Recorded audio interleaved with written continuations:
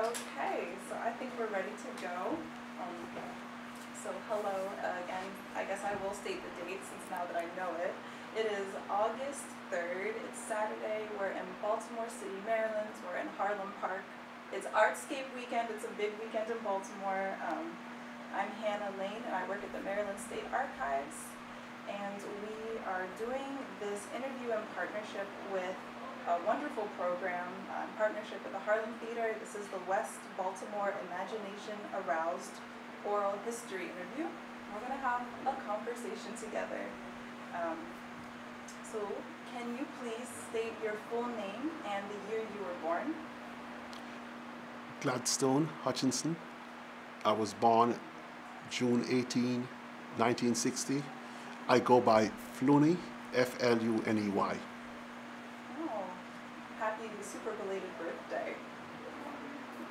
Uh, where do you live now? And where were you born? I was born in Jamaica. Um, I in rural Jamaica. Um, I moved around according to where my father and my mother were working. One was a policeman and the other was a nurse, according to where they were located. America is very familiar to me because six months a year my mom would come to the United States to clean houses, you know, and my dad would come to do some kind of a work, you know, but that was just the nature of growing up in a country that wasn't very wealthy. You know, and I myself came to the United States in 1979 on an athletic scholarship, and um, and you know I have you know, I, I will confess that the United States is a place that I most value living in. You know, I have the opportunity to live in a number of places. My wife is from Germany. I can be an EU citizen. Um, I can be a Commonwealth citizen. And I prefer to be an American citizen among all of those things.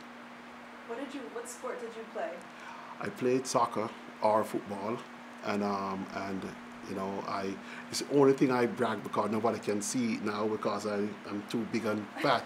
But I'm actually in the Hall of Fame in my in my in my university for my playing. So and you can tell I have all the scars from it, you know. But um, I only say that because people say, "No, you mean American football?" I said, "No, I played soccer," you know. But I it was a thoroughly um, positive experience for me. Not being nosy.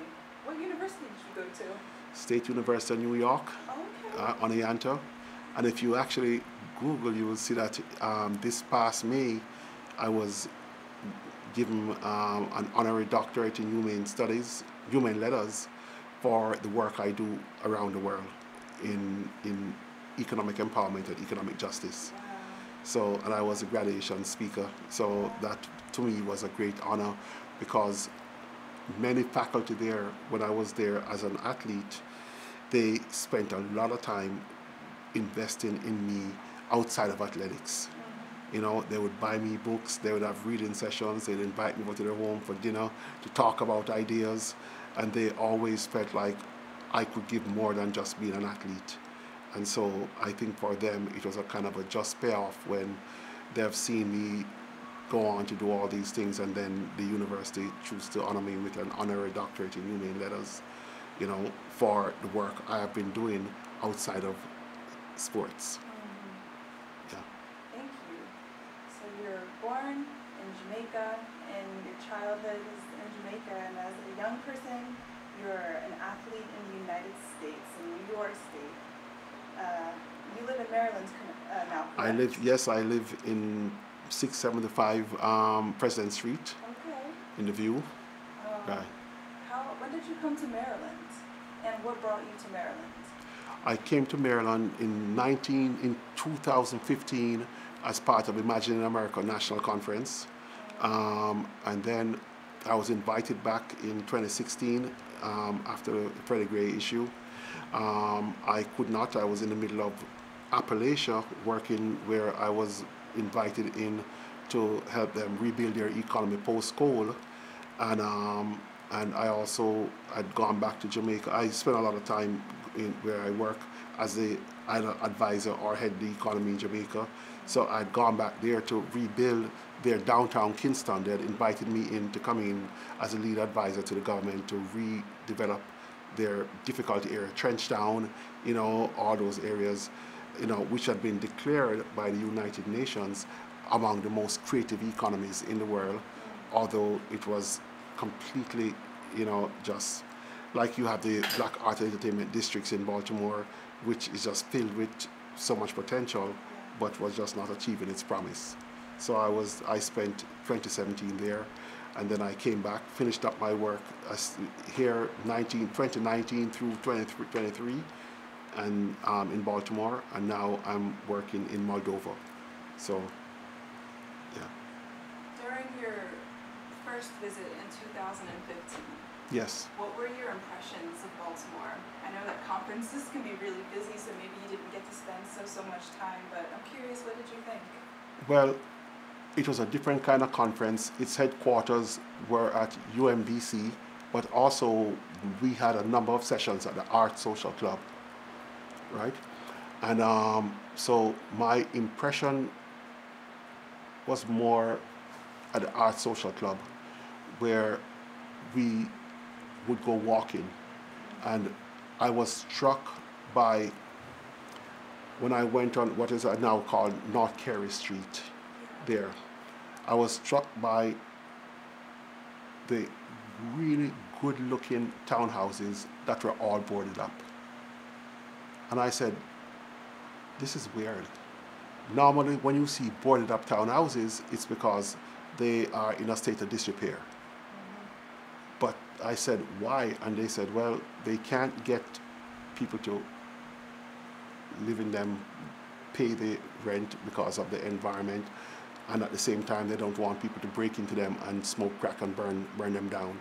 So they were boarded up, you know, even though they were pristine, beautiful, roof, marble steps, you know, everything was beautiful. And so that was a contradiction for me. That's when I became curious as to why you would, you know what I'm saying? Uh, it was just, it wasn't a rundown, it wasn't rundown, it just was boarded up. I think that this neighborhood has some of the, I mean, Baltimore has many neighborhoods, uh, many beautiful neighborhoods with slightly different, but still special townhomes. But I think one of my favorites is Harlem Park. The ones Yes. around here are Yes, yes, I know. It's, I know. It is confusing. I know. Uh, Pennsylvania Avenue, uh, which is where, for people who might watch this in the future, that's where the Arch Social Club is. Right. Uh, it's such a stark contrast what it looks like today Yes. from what um, I understand it looks like, Yes. even in the 1960s. I'm sure you've heard a lot about uh, how Pennsylvania Avenue and like how West Baltimore largely contributed to the culture of Maryland and I would Yes. even say the United States. Like, Yes. what, what do you think about it as like you've learned about the history of West Baltimore? Yeah. Well, when I was invited in, I was invited in to rebuild that square, right? To rebuild from there to because that square, the reason why it is always the point of demonstration, right?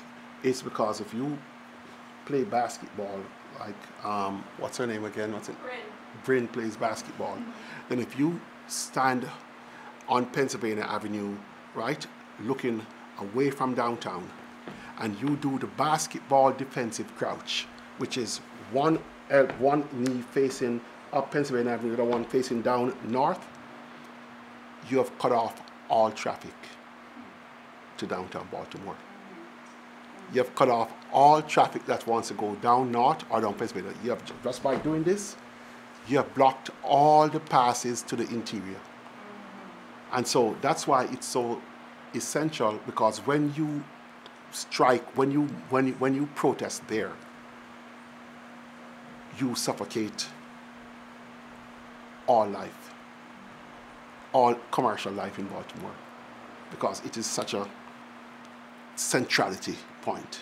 And again, you're speaking about the Pennsylvania Avenue, North Avenue Yes. intersection. Yes, the Pennsylvania Avenue North Avenue intersection, Mhm. which is we call it Penn North. Penn North. Right, right. Okay. Oh, that's really, I really appreciate hearing your perspective on that. I feel like I mostly hear uh, a lot of folk who have lived in Baltimore their whole life talk about Pennsylvania, Pennsylvania Avenue, and I've never thought about it that way. It is a strategic point. It is a complete strategic point. It is very connected to downtown. Yes. That's really interesting. And by the way, and that's why we were going to focus there because it is the, it is the second most trafficked four-way in the entire state of Maryland. Hmm. The only other place that is more traffic is in the center, Annapolis. Hmm. It is the second most trafficked So you can, so, so so you can imagine the flow that goes there, and it's multimodal because it has it has the trains that come there, it has the the, the cars that go there, mm-hmm. right? Yeah. And it has the walk traffic that goes there. And so it, it either is really really good or really really bad, Yeah. and that's why it was also quickly became the center of the drug problem, because the people who want to do drug treatment plants, they build their their, their, their, their, their morphine plant and their counseling plant right in Penn North because it is a center of where everybody can reach.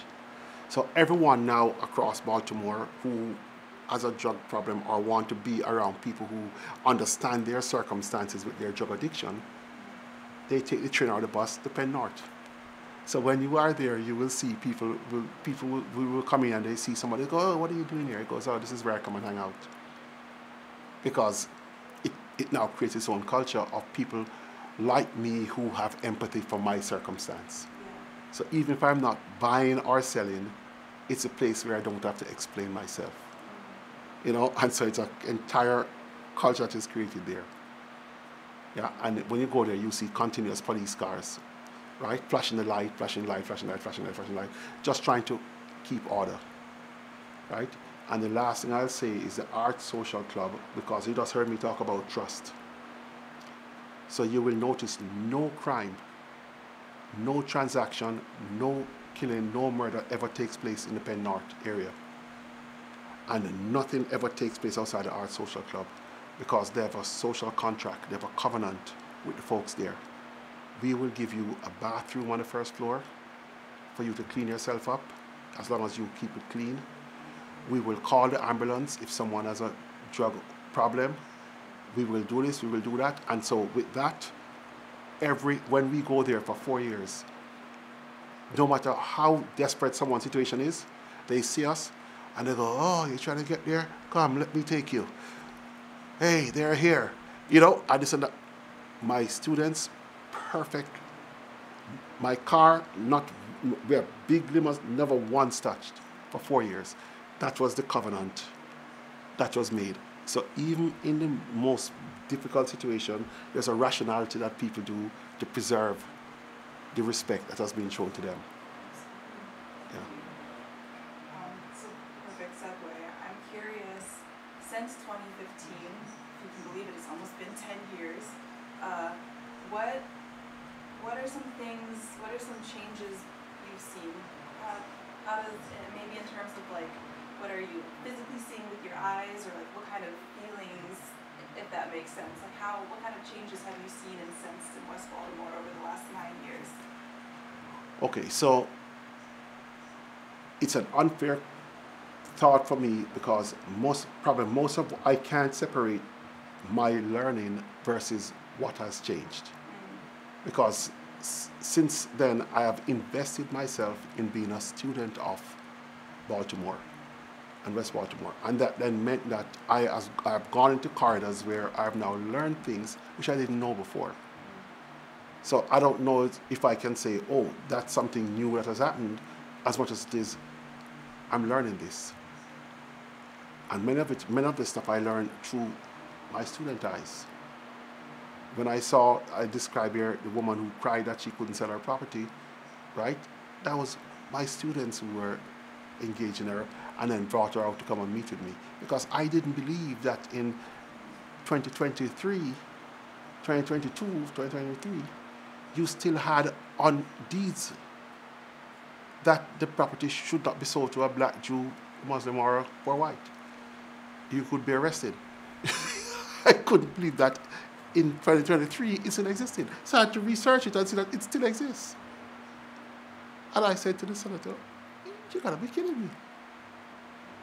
I mean, psychologically, why don't you have a bonfire?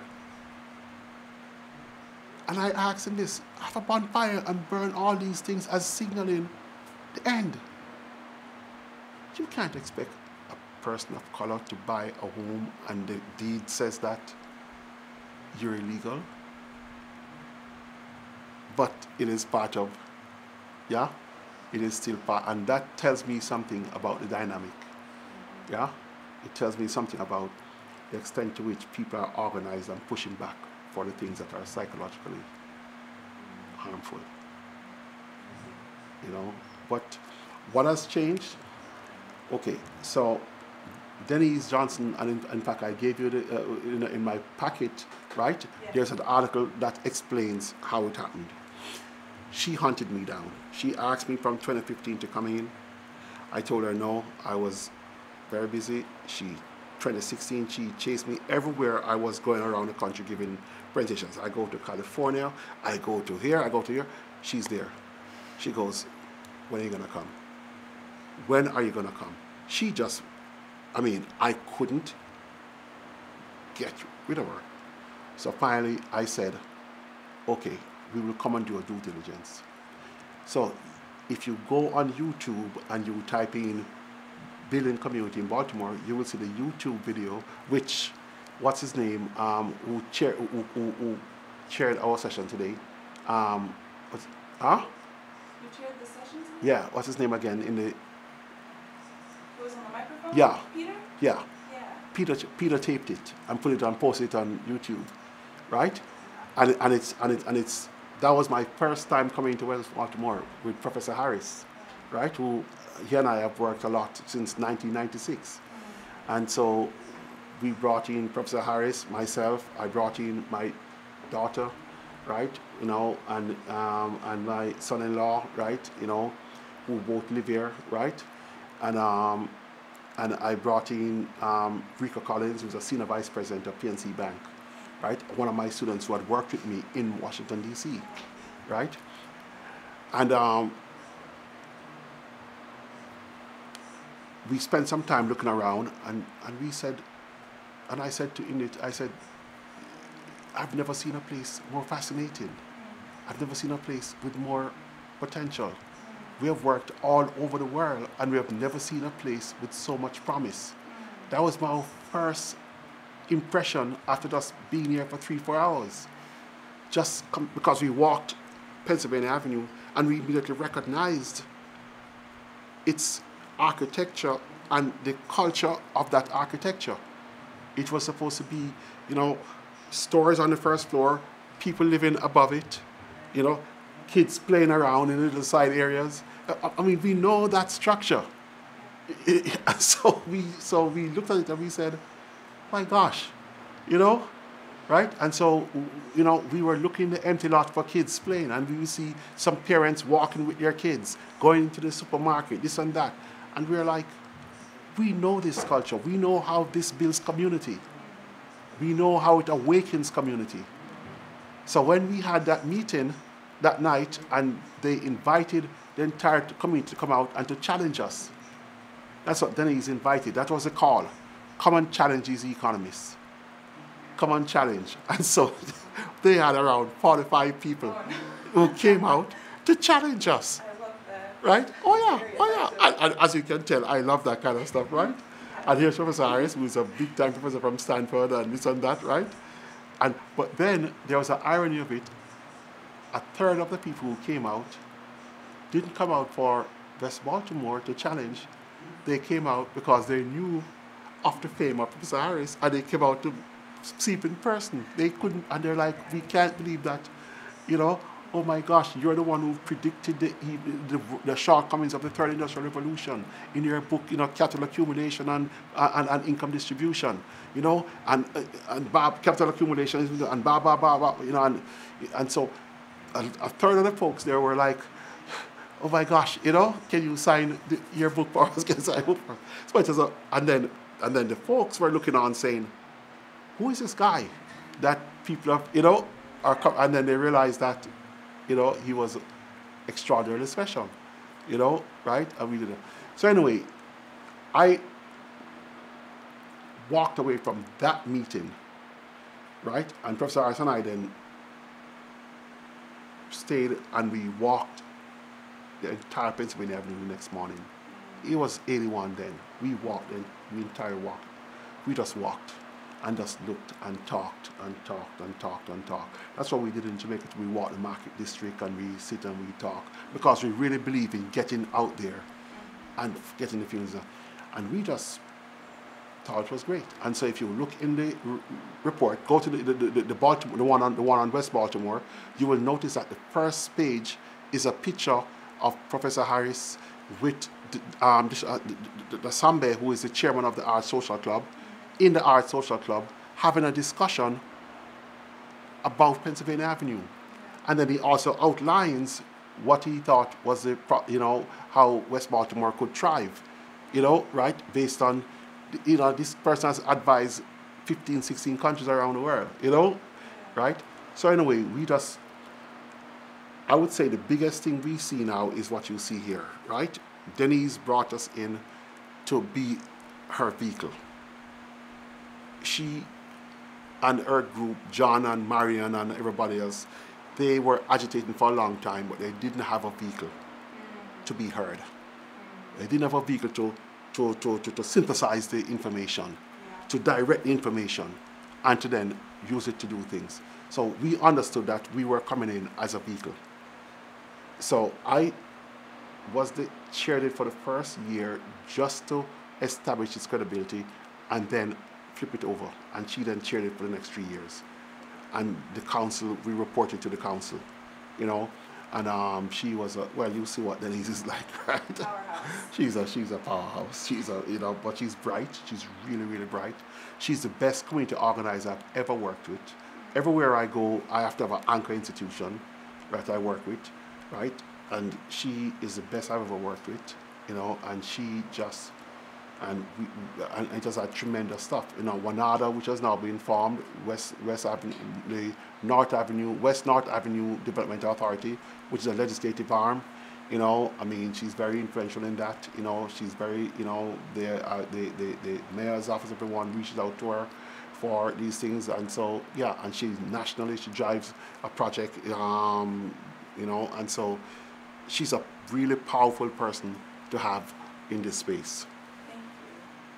Um, ah, and a few moments ago, we were mentioning uh, the person, and saying this for future listeners, uh, we mentioned uh, the individual who's kind of chairing today's program, um, Peter, and that is Peter Calloway Brooks. Right. Moving on. Um, so I just want to ask uh, briefly about. And everyone knows his history, right? Actually not sure. No? No one knows his history? see this in the future. I'll have All right. Okay. now. So you should know his history, right? Peter Calloway is the grandson of Cab Calloway, That's my favorite. who is a, who is, yeah, he's a grandson of Cab Calloway, right? Yeah, right. And so that's it, and you know, so and you know, and you know who Cab Calloway is, Oh, right? yeah. Yeah. So he's so he's a grandson of Cab Calloway. And uh, the Calloways lived in a, in a part of West Baltimore, Yes, little yes. more north, right? Yes. Yes. Uh, yes. He, he played a role in advocating for the Calloway House to Yes. not be That's good. Torn down. Yeah. I don't. Was it destroyed? Yeah. I think in the end it may have been it- yeah in the end. But they still have given, um, they've donated uh, uh, uh, some other houses Okay, on Pennsylvania Avenue. that's beautiful. Yeah, Wonderful historical jazz connection to West Baltimore. One of many, but I will not digress in that. right, right. Um, I wanted to ask uh, about the, the Highway of Nowhere. I Have a lot of time for, right? Sings a song that says, um, every person think their burden is the heaviest. Who feels it knows it. So West Baltimore can never get over the hurt and the trauma that the highway to nowhere did to them. But so too can any of the communities, the 23, 24 communities across America, who also had highways destroy their lives. And they all had one thing in common they were vulnerable communities. Now, if you think of what the highway to nowhere was supposed to go and why it's called the highway to nowhere, it's because when it came upon organized citizens, it could not continue. That's why it it is a highway to nowhere because it was supposed to go all the way through. But it was not able to go through because they came up on an organized citizenry that blocked it. That's why it had to end and shut off and cut back down. So when I first came here in 2015, right, they had just then, um, no, it was still, you go and it just drops off, right? And the, and the roads on the side were coming into it. In 2016, when I came back, I wanted to show my daughter, but now they had opened it up, right? But it, they had not thought through the logics of it. So the same, so the parking lot that we parked in, we parked in to show them, and in the 20 minutes that we were there, we experienced three accidents. And the neighbors came out and said, oh, yeah, every day at least 10. But what was happening was that because they had not thought it through carefully, people were coming off the hill, had too much of a blind spot for people driving through. So when they're trying to cut across, they couldn't see their blind spots as they're cutting across. They were getting all these accidents. And the ambulance would come and say, ah, yeah, it's our third call for the day right here, right? But it looks like they've figured it out now. The, the point I'm making is, last night we were there, when we go there, it's a, when they make it be a multimodal hub, that will be the basis of Baltimore City Recovery, where people now can travel from as far as DC to come to an event, right? To come to an Orioles game, come to a, a, a, come to all the restaurants downtown, come to, we're going to put in a performance center right there, you see it in the, in the report. Come to events there. We're going to put in all these wonderful restaurants right there. Come to, in other words, you can open up Baltimore so you could now have all your taxis, not taxis, your, your Ubers and your this and that, and your Uber center and your train station there where people can park. Or they can take a scooter, they can go park there and they could go all over, right, to go work. You, you open up Baltimore, right? Think about it. Right now they're building all these apartments downtown Baltimore for middle to low income people who work in the restaurants and work in the, in the, in the lower income sectors there. But they live in Baltimore County. They live in these other, in Howard County, they live in these counties, and they then, so because it's too difficult for them to be tra traveling back and forth, back and forth, they're building these apartments now downtown for them. But just imagine if MARC Station was opened up and they could now live they are working there and they could now live. They buy these homes. That's how I was telling you about how we can, we can, we can rebuild without gentrifying. Because the same way that you're building now these apartments here, you could just be modernizing and fixing up and building neighborhoods. And rather than apartments, they have townhouses. And they have parks. And they have this and they have that and they can connect. So my answer to what do we think about the, the highway to nowhere, it can be the highway to human flourishing. It could be a highway to the, the return of prosperity. The, the idea that all those schools around it are such in such poor state and poor performance, you know, even right across from it, the school is closed down. We believe it has such enormous potential to do it. And that's what I believe in. I, even now, I drove it again, drove it again, and I deeply believe in it. I deeply believe in Baltimore. That's why I live here. I, I really, really believe in Baltimore's future.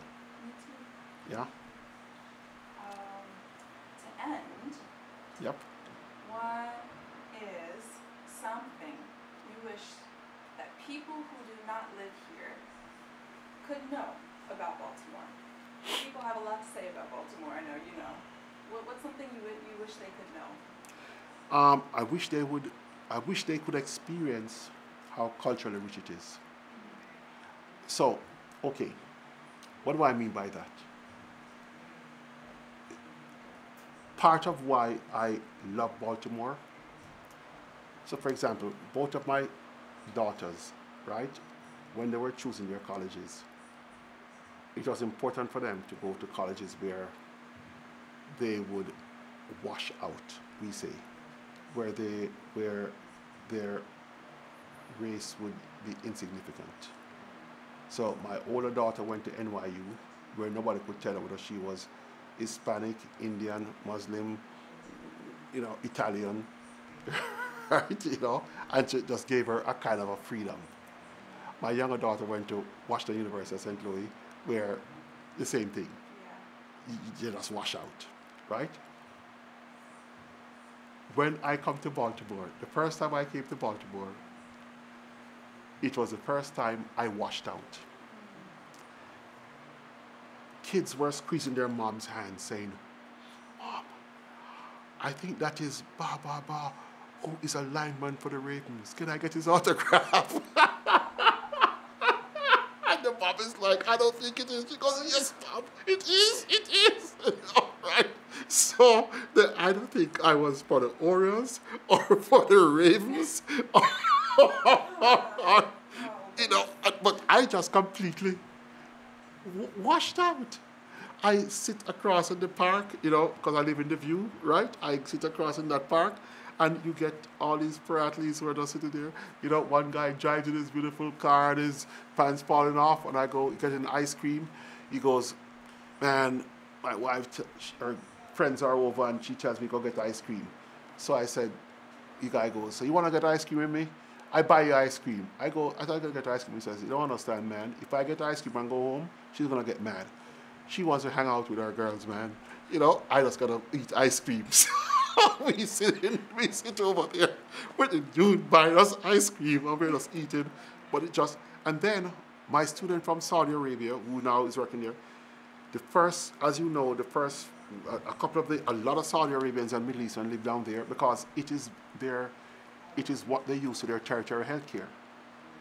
You know, so rather than them trying to invest in trying to have cancer research and this and that, this and this and that, they use John Hopkins Hospital. You know, that's how they prioritize it. So they're there, and then so I got to know all of them, you know, right? Because they would talk with my students and this and this and that. But I was in this space where I just could be invisible unless I wanted to be visible. And I said, wow, that's so cool. Because the rest of my life, I spend being visible and I have to lock myself away to be invisible. You know, you teach at a school where there's not a lot of faculty of color. You are, I know, I'm in Appalachia where, you know, you know, you know, I travel to Moldova, you know, I, you name it. But there, I could be invisible. And there was a sweet culture to it in the way how everyone kind of just Baltimoreans are friendly and they like to hear your story and tell you stories. You know, I mean, and so I just go sit down and people will come and just, can I join you? And we feed pigeons and we just talk by the Under Armour place, you know, which is where I go and have breakfast every morning, you know.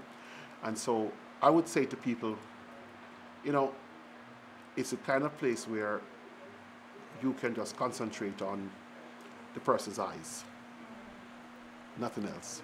Just are their eyes cheerful, friendly, you know, embracing. You don't need to worry about anything else. How they look, their sexual preference, what you think it is, what it is, why it is, why it is. I mean, my funniest story is I'm walking on, there's this early 20s woman who's walking and her dog has on pink socks and she has on pink gloves, right? You know? And so I have dogs, so I look at the dog and I said, nice dog, right? And so she looks at me and she says, you know, you seem to only like certain kind of bitches. I'm like, how do I respond to this? you know? How do I respond to this, right? And she just looks at me and she just laughs and walks off with her dog, you know. And I'm like, anything I say, I'm gonna get in trouble, right? But and she knew it was, you know, she was just having fun, right? And I really enjoy that. You know, I, I just I really like Baltimore, you know. But it's not just downtown. I like my I like by the Penn North, you know. I spend a lot of time there. You know, um, I like obviously, I like Denise. You know, Denise and I um, spend a lot of time, you know, together, um, and um, you know, Santa Hayes, we spent, you know, we spent a lot of time. I, I like its promise. It just, it's like a trying train that hasn't gotten to that mountain top yet where it can make its pursuit of its flourishment be downhill. It still is, you know, trying to get to that point where it's easier, you know, but but they're trying.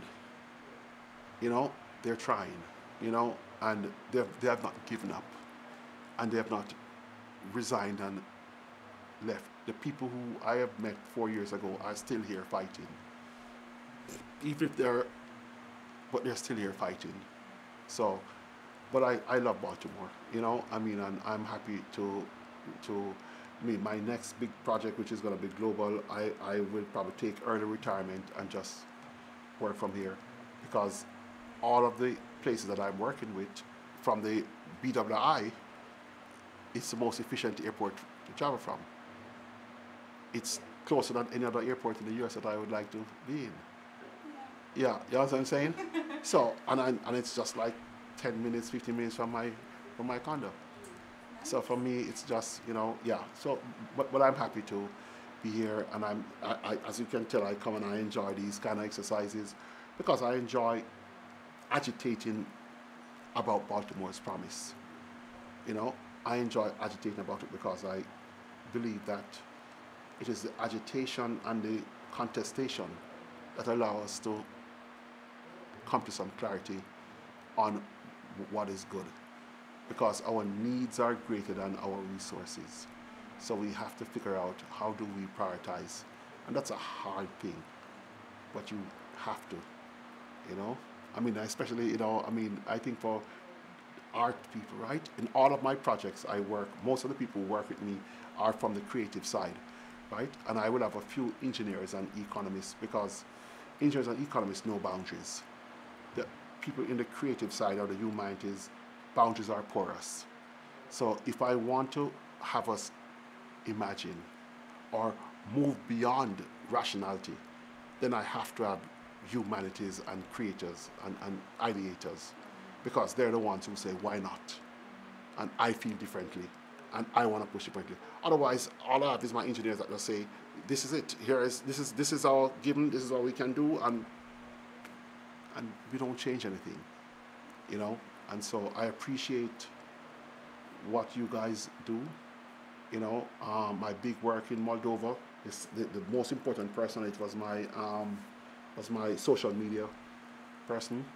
You know, who is teaching social media to you know Moldovans how to use it to have voice. You know, and um, and I think without that, everything else would fail. You know, the economics would fail because we would never imagine beyond the boundaries of Soviet control. They could never imagine what it is to be, to have liberty, to have freedom, because they've never had it in their history. So they, they have no ability to imagine it or conceptualize it. So, you know, I, and I feel the same way about Baltimore. I love what's his name from the from the municipal, municipality was sitting next to you. Oh, Right? that, um, Yeah, Brendan. Yeah, Works uh, with yeah. The Department of yeah. I I, I, I love him. I, yeah, I, I love him, but he will never leave Baltimore. He will never lead Baltimore into its future because he will only understand to maximize within what is. You know, nothing negative about it. It's just that you need free range chickens who don't know, who are willing to be rangy to challenge and to push and then force him to respond to it. He can't set the tone, he can't set the boundary. He has to react to other people who are challenging the boundary. You know, and that's why I said to him, I like your first point, I didn't like your second point. I was very deliberate in trying to say to him because the, the, the second point I was too deliberate, like you now, I, now you're just gonna set out now the things that you want to do and let people react to it. You know, I'm like, you don't get to do that. You gotta let the, you know, and um, but he's a good guy, and I think it's just the idea that you need more of a you, and the, the aggregation of a you, and the Denise, these are people who are kind of really punching the boundaries, punching it, and forcing the government to say, okay, okay, okay, okay. Because, I mean, I know Brandon Scott, you know, he's a good guy, but you gotta push him. You know, otherwise he stays within that space, right? So, anyway, that's, I've done enough talking, yeah. Thank you so much All right. for sharing your thoughts. Yeah. I could talk to you for hours. No, you you could sit there and listen to me talk for hours. There's a difference, right? You haven't said anything. Although there you were quite talking, but now you just do that. But I'm good, you know. Uh, I'm good. I I what I, I go back Monday to my to Pennsylvania, which is where I teach, and then I I think I go to Nigeria a little bit before school starts, and then I probably go there a couple more times, you know, as I try to get this.